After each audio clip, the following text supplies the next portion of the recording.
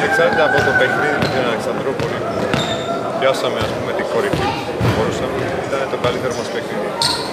Ε, κακά τα ψέματα, σήμερα χάσαμε το παιχνίδι, ε, χάσαμε τους δύο βαθμούς από, από τα απλά λάθη μας.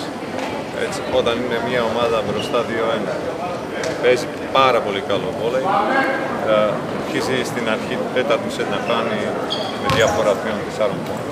Ξαφνικά γυρνάει το παιχνίδι από το παράδειγμα 12-8 γίνεται το σκορ 14-15 στον αντίπαλο. Εκεί πρέπει να αρχίσει να πιέσει η ομάδα μέχρι, ε, το τέλος, ε, μέχρι το τέλος του σετ.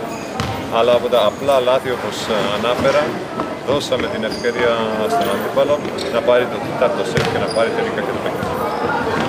Αυτή τώρα μια κρίσιμη διάδραση με Κηφισιά και Βίλων που είναι και αυτές δύο ομάδες που είναι χαμηλά στη βαθμολογία. Για μας αυτή τη στιγμή δεν έχει σχέση ποιος είναι πάνω και ποιος είναι κάτω.